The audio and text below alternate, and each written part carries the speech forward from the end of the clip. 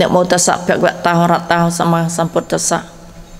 ចំកាត់ណាសមស្ការអង្កាយថ្វាយបង្គំដល់ព្រះពុទ្ធពធប្រសង្ឃជាទីពឹងទីលឹកដល់កំពង់ខ្ពស់ឧត្តមឧត្តមក្រៃលែងលើលោកនេះហើយសូមអង្កាយគ្រប់ដល់សលវតីមហាបាសិកាក៏ដូចជាបាសិកាទាំងអស់ដែលបានជួយមកសិក្សាពធនៅក្នុងមជ្ឈមណ្ឌលវប្បធម៌ពុទ្ធសាសនាកម្ពុជាហើយថ្ងៃនេះថ្ងៃ13រោចត្រូវនៅថ្ងៃទី 24ដែរណា24ខែសីហាជាថ្ងៃដែលយើងត្រូវបិទវគ្គទាំងហើយបិទវគ្គហ្នឹងមិនបិទវគ្គក៏រៀនវគ្គនេះមួយបានន័យចំណុចនេះបន្ថែមបញ្ចប់ឲ្យកាន់តែបានដឹងថាធម៌ដែលអាចប្រព្រឹត្តទៅដើម្បីត្រាស់ដឹងបាននោះគឺធម៌អ្វីខ្លះទៅអញ្ចឹងក្នុងពធដែលព្រះអង្គសម្ដែង84000ពធមខណ្ឌនេះសូមជម្រាបជូនថាមានពោធិបក្យធម៌ទាំង37ប្រការនេះ តែព្រះអង្គសង្ខេបមកគឺមានអីមានសតិប្បដ្ឋាន4សមត្ថប្រធាន4អតិបាត4ពលៈ5អន្ត្រី5ពុជង្គៈទាំង7អរិយមកអង្គ8ហើយសូមចាប់អារម្មណ៍ទាំងចាប់អារម្មណ៍ត្រង់ណាព្រះអង្គសម្ដែងថាចម្រើនសតិប្បដ្ឋាន4បរិបូរណ៍នឹងបានអរិយមកអង្គ8 ហើយព្រះអង្គបញ្ជាក់ទៀតថាចម្រើនអរិយមួយអង្គ8បរិបូរណ៍នឹងបានសតិប្បដ្ឋាន4នេះចំណុចនេះទៅណាហេតុអីបានព្រះអង្គសម្ដែងអញ្ចឹងបានន័យថាធរអនុឡោមបដិឡោមជួយគ្នាទៅវិញទៅមកយ៉ាងសំសំគូសចំណាំត្រៃនឹងមួយឲ្យឃើញថាធរកើតពីហេតុបច្ច័យអាស្រ័យតគ្នានោះគឺជាការប្រតិបត្តិឲ្យឃើញដូចជាយើងខ្ញុំបានបញ្ជាក់ជូនព្រឹកមិញអញ្ចឹងដែលយើងពងចម្រើនហ្នឹងក៏សលធរតែជ្រោមជ្រែងនេះ សតិប្បដ្ឋាន4នេះដំបូងទីព្រះអង្គព្រះអង្គដាក់ខាងដើមហើយដើមនេះប្រព្រឹត្តទៅបានចុងនេះហើយចុងនេះប្រព្រឹត្តទៅដើម្បីបានដើមនេះយើងស្ដាប់អរិយមេអង្គ8ព្រះអង្គសម្ដែងថាម៉េចទេខ្ញុំបញ្យល់ហើយណាអរិយមេអង្គ8មិនទៅអរិយមេអង្គ8ព្រះអង្គដាក់មេត្តាគឺអីសមាធិដ្ឋិអឺដៃខ្ញុំដល់ពេលរឹងយ៉ាងទៅសេអត់កើតទេ សមាធិដ្ឋិការយល់ត្រូវអញ្ចឹងការយល់ត្រូវហ្នឹងនឹងបន្តមកអីសម្មាសង្កបៈត្រូវត្រូវមែនទេអញ្ចឹងនេះដើមទីមកសម្មាសមាធិសម្មាសមាធិហេតុអីបានព្រះអង្គបញ្ជាក់ណាសម្មាសមាធិដែលមានអីអង្គទាំង7ចោមរោមអញ្ចឹងនេះ 1 2 3 4 5 6 7អស់អានេះពុទ្ធិអីច្រឡំអានេះថាអរិយអង្គ8គឺមានសមាធិដ្ឋិសមាសង្កបៈសមាវិចាសមាគន្តៈសមាអាជីវៈសមាអីទៀតសមាវិយមៈអីទៀតសមាសតិ7ហ្នឹងចោមរោបសមាសមាធិនេះណាអញ្ចឹងធေါ်ឃើញឧបការៈឲ្យគ្នាទេដល់ទៅពេលចម្រើនសមាធិនេះបរិបោបានអីទៀតបានមកនេះវិញ ចារុញគ្នាទៅវិញទៅមកដែលហៅថាសមាសមាធិជាហេតុនាំឲ្យបានអីបានវិបស្សនាគឺសមាធិនេះនាំឲ្យបានអីបានបញ្ញានេះវិញឃើញទេអញ្ចឹងវាកង់រំមូលចូលនេះហ្នឹងអរិយមកអង្គ3ធ្វើកង់ហ្នឹងបានតែរំមូលហ្នឹងគឺថាពីចុងទៅដើមពីដើមទៅចុងពីចុងទៅដើមពីដើមទៅចុងពីតិចតិចទៅខ្ពស់ពីមួយជាតិទៅមួយជាតិមួយជាតិទៅមួយជាតិទៅអាចក្រាស់ក្រែត្រាស់ដឹងបានយ៉ាងណាមិញនេះពុទ្ធិបយធម៌ទាំង37ប្រការដូចគ្នា ហើយដែលបងប្អូនសម្ដែងថាចម្រើនអាណាបាបរិបូរទៅបានសតិប្បដ្ឋាន4ហើយដល់សតិប្បដ្ឋាន4បរិបូរមិនបងប្អូនមិនសម្ដែងថាមានសមាធិ4អត្តបាតអន្ត្រីពលៈអត់អត់បច្ចៈបច្ចៈណានេះពោជង្គៈ7បានន័យថាធរទាំងអស់នេះនៅក្នុងពោជង្គៈទាំង7ដែលអីអង្គសម្ដែងថាប្រព្រឹត្តទៅដល់បានបានអរិយមេអង្គ8គឺវិជានិងវិមុតចាំឃ្លាព្រះអង្គសម្ដែងទេ ពាក្យដែលព្រះអង្គសម្ដែងមានប្រយោគដើមចុះឡើងសុទ្ធតែមានហេតុផលទាំងអស់ទាំងយើងកុំគិតថាអញរៀនតែរៀនតែបដិសទៅបានហើយរៀនតែបដោះបានហើយអញ្ចេះអញ្ចឹងអត់ទេយកទាំងអស់ទៅណាជាឧបនិស្ស័យយើងសន្សំឥឡូវខ្ញុំសូមបញ្ជាក់ជូននេះអង្គឈានដែលចូលមកដែលដែលដែលប្រព្រឹត្តទៅនៅក្នុងសមាសមាធិនេះអង្គឈាន5មែនទេ 5ហើយដល់ពេលនេះដែលត្រូវលះបង់អ្នកណាលះយើងលះមិនយើងលះទេណាកុសលធម៌ជាអ្នកកំចាត់អកុសលធម៌អញ្ចឹងមិនធម៌ត្រឹមតែជាធម៌សមាសមាធិមានមានវិតិកៈវិចារៈបេតិសុខៈឯកតាចាំទេណាចាំអញ្ចឹងដល់ពេលនេះ5នេះកាលណាចូលមកប្រកបប្រកបនៅក្នុងចិត្ត ដែលយើងខំចម្រើនលើកចិត្តឡើងកាន់អារម្មណ៍នោះប្រកបនៅក្នុងនោះថាច្បាស់ហើយចេញចូលជាប់ហើយគេកំចាត់អីនេះអង្គដែលត្រូវលះបានតែគេលះអីលះបាន5ដោយសារអីនេះធនមិត្តមុនគេណាខ្ញុំបានជម្រាបហើយណាខ្ញុំគាត់រំលឹកតិចទេអញ្ចឹងអង្គឈានទាំង5គេកំចាត់និរណធម៌5ដែលជាអាហាររបស់អវិជ្ជាធ្វើអីធ្វើឲ្យមាននេះពោធិបយធម៌ទាំង37ប្រការនេះ 37ប្រការមានអីនេះ4 4 5 5 7 3បូកទៅឃើញ37តែព្រះអង្គសម្ដែងថា7កងណាមាន7កង1 2 3 4 5 6 7កណានិយាយថាពោធិបយធម៌ទាំង7កងគឺនឹងឯង37ប្រការហ្នឹងយល់ទេតែគេថាជួនកាលបែរគេនិយាយថា7កងតែបើគេនិយាយថាពុទ្ធិនឹងមាន37 បានន័យថាសមាធិមាន4អត្តបាត4អន្ត្រី5ពលៈ5ដូចជាង7សមាធិប្រធាន4មានន័យថាខាងអកុសល2ខាងកុសល2យើងទៅសេកាត់ទៅណាខាងកុសលនេះគាត់ត្រេទៅមកកុសល2អកុសលមុនទៅអកុសល2អកុសលគឺអីអកុសលធម៌មិនតាន់កើតទប់កុំឲ្យកើតនឹងមួយណាដល់កើតហើយលះវិញនឹងពីរហើយដល់កុសលកុសល មានពីរដែរបើនេះតែកុសលធម៌មិនតាន់កើតព្យាយាមឲ្យកើតកើតហើយលះទៅវិញណានឹង4គឺ2នឹងដល់អត្តបាតនេះមានអីព្រឹកមិញចាំហ៎ឆន្ទៈខ្ញុំស្អីទេឆន្ទៈវិរិយៈចិត្តវិមង្សាអឺចឹងយើងមើលព្រឹកមិញបញ្ជាក់ឲ្យ ព្រឹកមិញហ្នឹងយើងអង្គុយហ្នឹងដឹងខ្លួនថាមានទប់អកុសលធម៌មិនអាចកើតទេណាកំពុងកំទប់ហ្នឹងណាអកុសលធម៌ដែលកើតហើយវាទៅមិនដែរដងណានៃលះហ៎មានលះអត់ហ្នឹងហើយអាហ្នឹងឃើញទេយើងកំពុងព្យាយាមលះហើយអង្គុយសមាធិហ្នឹងកំពុងព្យាយាមហើយនេះកុសលធម៌កន្លងមកដែរនឹកឃើញគុណពុទ្ធឬក៏នឹកឃើញខ្យល់ដង្ហើមចេញចូលទេអត់ទេអព្រឹកមិញយើងកំពុងចម្រើនកុសលធម៌គឺអាណាបាអញ្ចឹងកំពុងអី កំពុងតែបង្អោនចិត្តនឹកដល់ខ្យល់ចេញខ្យល់ចូលចេញចូលនឹកប៉ុនណាហើយប៉ុនដែលនាំប៉ុនកើតហើយចម្រើនឲ្យកើតទៀតមិនបើចិត្តនឹងរតនាតន័យទាញមកវិញដើម្បីដឹងខ្យល់នឹងទៅវិញយល់ទេណាដើម្បីចម្រើនកុសលធម៌ម្ដងទៀតបើចិត្តបរត់ទៅទាញមកវិញទៀតចម្រើនហើយចម្រើនទៀតចម្រើនហើយចម្រើនទៀតដែរដែរយល់ទេណាហ្នឹងហើយគេថាចម្រើនកុសលធម៌ឲ្យកាន់តែច្រើនទៅតែបើវិចិត្ររតនាតន័យចិត្តចេះទៅណាទាញមកវិញទៀតទាញដល់លេងទៅលេងឲ្យទៅ អូអិនត្រីនេះអិនត្រីមានប្រហែលមាន5ស្អីខ្លះចាំអត់មានសតិមានសតិដាក់សតិសតិនត្រីសតិវិរិយៈសមាធិបញ្ញាអិនត្រីនិងពលៈនឹងដូចគ្នាកាលមួយពលៈមួយអិនត្រីចឹងយើងនឹងសិក្សាបន្ថែមបន្តទៀត ឲ្យឃើញដែលព្រះអង្គទ្រង់សម្ដែង ពីផលប្រយោជន៍ដ៏ឧត្តមឧត្តមក្រៃលែងក្នុងការចម្រើនសមាធិនេះចាំមកព្រះអង្គឲ្យលោកលះឲ្យលះធម៌6យ៉ាងចាំហ៎កាមវិតកៈអីទៀតមើលរត់នឹកមើលព្យាបាទវិតកៈវិហង្សាវិតកៈអីអីទៀតកាមសញ្ញាអីទៀតភ្លេចឲ្យឈឹងមកណា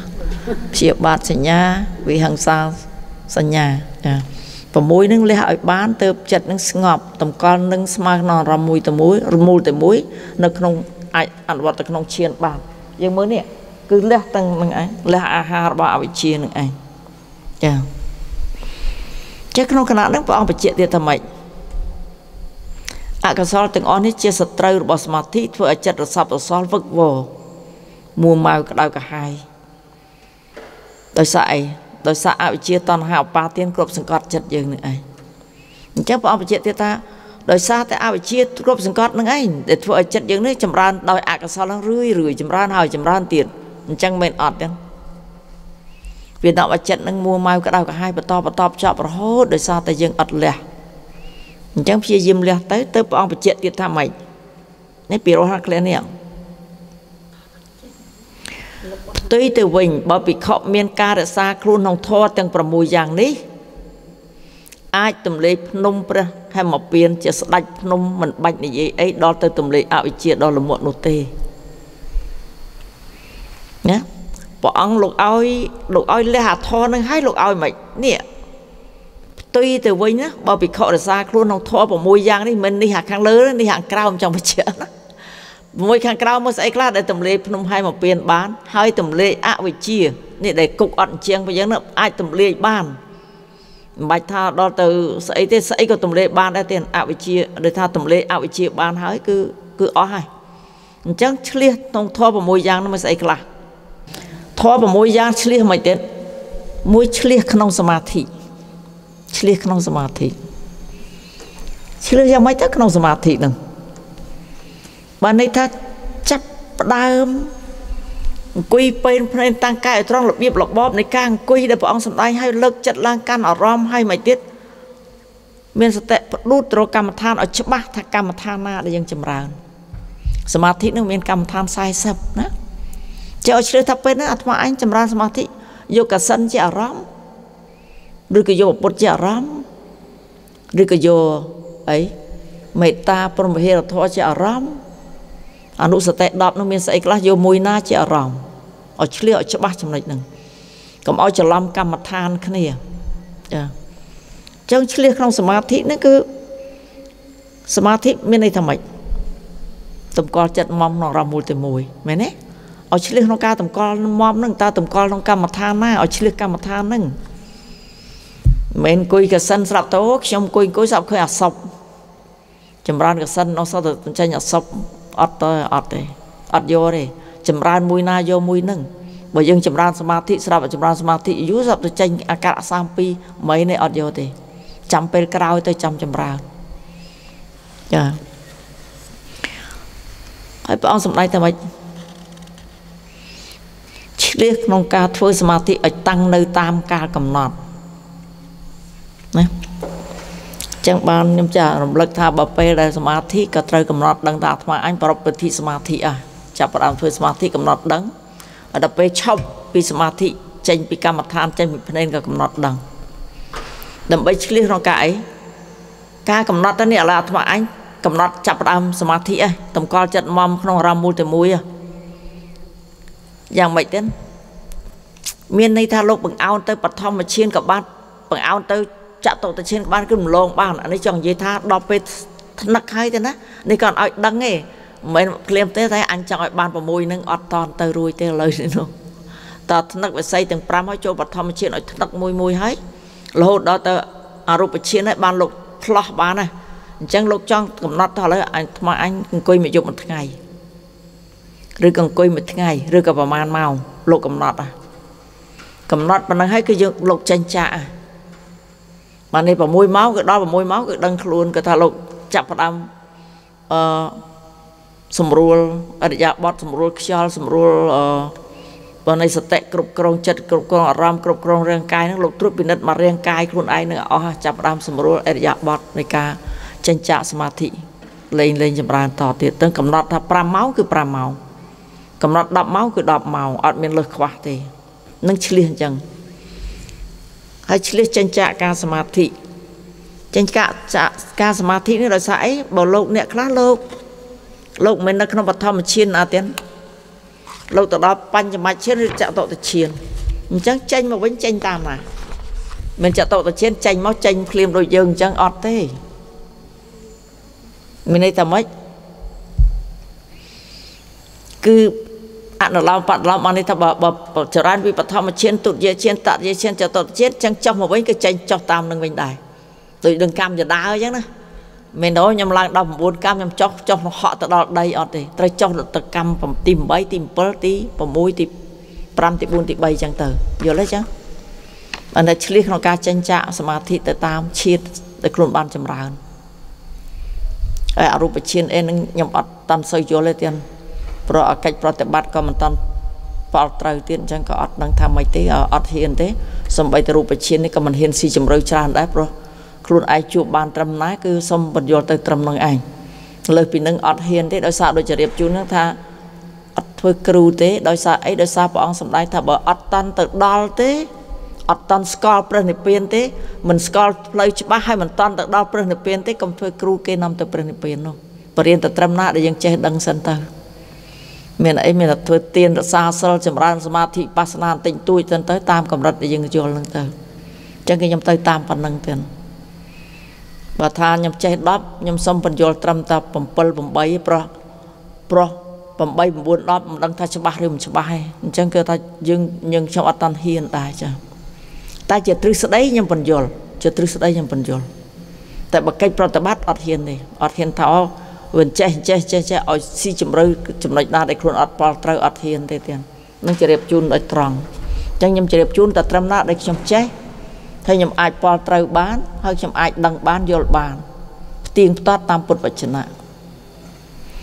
ដូចជាឆ្លៀសក្នុងការបែងចែកសមាធិអីនេះអត់ចេះទេទេអញ្ចឹងទ្រឹស្ដីព្រះអង្គសម្ដែងអញ្ចឹងគឺរឿងអញ្ចឹងទៅឆ្លៀសក្នុងការនៅការកោចររបស់សមាធិអាឆ្លៀសកោចររបស់សមាធិនេះគឺចង់សម្ដៅទៅលើនេះ ប្រព្រឹត្តទៅនៅក្នុងអង្គឈាននឹងឯងចាទីកោចររបស់ចិត្តក្នុងសមាធិមានអីលោកយាយណៃចាំអត់ចាទីកោចរក្នុងសមាធិគឺខណៈចិត្តយើងចាប់ពីវិតកៈទៅនឹងនឹងជាទីកោចររបស់បៃតាយើងហើយបង្អោនចិត្តលើកចិត្តឡើងកាន់អារម្មណ៍វិតកៈវិតកៈរលត់ទៅវិចារៈកើតឡើងវិចារៈរលត់ទៅបៃតៈកើតឡើងបៃតៈរលត់ទៅមិនទៀត សុខៈកើតឡើងសុខៈរលត់ទៅឯកតាកើតឡើងឯកតាចិត្តនេះរលត់ទៅដល់តាំងនៅយូរយូរទៅ បានឧបេខា នឹងជាទីកោចររបស់ចិត្តរបស់សមាធិអីសមាធិអត់ទៅទីកោចររបស់កាមគុណ5ទេបើយើងនឹកឃើញណាណីអានឹងមិនទេមិនត្រូវទេលោះចោលចេញគឺទៅតាមផ្លូវហ្នឹងហើយផ្លូវនឹងឯងកំចាត់និវណៈធម៌5ដែលជាអាហាររបស់អវិជ្ជាអញ្ចឹងទៅតាមហ្នឹងណាចាយ៉ាងហ្នឹងទីកោចររបស់សមាធិអី ហើយការបែងចែកសមាធិនឹងលោកមានបែងចែកឈានបែងចែកស្អីច្រើនទៀតចាហើយមួយទៀតឆ្លៀសក្នុងការសន្សំនៅសមាធិចានឹងសន្សំតាំងពីទៀបទៅតិចទៅច្រើនទៅទេណាតិចក៏សន្សំច្រើនក៏សន្សំសន្សំទៅអង្គុយបាន1ម៉ោងក៏សន្សំ1ម៉ោងបើអង្គុយបាន5នាទីសន្សំយក5នាទីទៅយើងសន្សំយូរយូរបានដល់ទៅច្រើនហើយដែលទីនេះចង់សម្ដៅថាលោកឆ្លៀសក្នុងការសន្សំសមាធិនេះគឺច្រើនរហូតដល់អីឈានដល់និរោធសមាបត្តិយល់ទេ នឹងលោកលោកឆ្លៀតដល់និរោធសមាបត្តិបានន័យថាលោកទម្លាយបានណាអវិជ្ជាព្រោះតែមានប្រាណាកេមិនិងប្រារហន្តទេដែលអាចចូលនិរោធសមាបត្តិបានហើយនិរោធសមាបត្តិហ្នឹងវាឧបការៈពីអីពីការសន្សំសមាធិបន្តិចបន្តិចនេះទៅរហូតដល់អីសមាបត្តិ8មានរូបឈានអរូបឈានសមាបត្តិ8លោកសន្សំយូរយូរទៅដល់និរោធសមាបត្តិអានឹងបំបែកបានហើយបានន័យថាបំបែកភ្នំឲ្យមកពៀនបានរឹតអបញ្ញាគឺមានគ្រប់គ្រាន់ទាំងអស់ ចារត់អវិញ្ញាគ្រប់គ្រាន់ទាំងអស់ចឹងអវិជ្ជានឹងគឺទម្លាយបានណាអត់មាននៅទៀតទេព្រោះអីអវិជ្ជាទម្លាយបានដោយសារអីចាំអត់ដោយសារអង្គឈានទាំង5កំចាត់អាហាររបស់អវិជ្ជានឹងឯងហើយអញ្ចឹងគឺអស់ហើយមានអីទៀតអស់ហើយអញ្ចឹងបានខំទៅទៀតសំទៅកុំសម័យសម័យទៅណាច្រើនណាហើយបានព្រះអង្គសម័យទៀតថាម៉េចបញ្យល់ថា នេះដែលព្រះអង្គឲ្យយើងប្រកបរឿយរឿយក្នុងការព្យាយាមចម្រើននៅធម៌ទាំងឡាយជាចំណែកនៃការត្រាស់ដឹងតើមានអីដូចម្ដេចនឹងប្រយោគក្នុង81ទាំងក្នុងភាគ81នោះព្រះអង្គបញ្ជាក់អញ្ចឹងពាក្យថាប្រកបរឿយរឿយព្យាយាមក្នុងធម៌ទាំងឡាយជាចំណែកការត្រាស់ដឹងព្រះអង្គសម្ដែងថាម៉េចគឺភុជង្គៈទាំង7សតិភុជសម្ភុជង្គៈធម្មវិរិយៈសម្ភុជង្គៈវិរិយៈសម្ភុជង្គៈ បៃតៈសម្ពុជង្គៈបសតិសម្ពុជង្គៈសមាធិសម្ពុជង្គៈនិងឧបេខាសម្ពុជង្គៈចឹងឥឡូវព្រះអង្គសម្ដែងតែម៉េចត្រង់ពាក្យថាតាំងកាយឲ្យត្រង់គឺកាយស្ថិតនៅក្នុងតម្កល់មមមួនណាកាយនឹងមមមួនអត់ត្រេកត្រោតទៅណាទេតម្កល់សតិឈ្មោះទៅរកកម្មដ្ឋាន មានន័យថាម៉េចគឺរលឹកដឹងរលឹកឃើញរលឹកដឹងច្បាស់នៅខ្យល់ដង្ហើមចេញចូលនឹងឲ្យច្បាស់ចា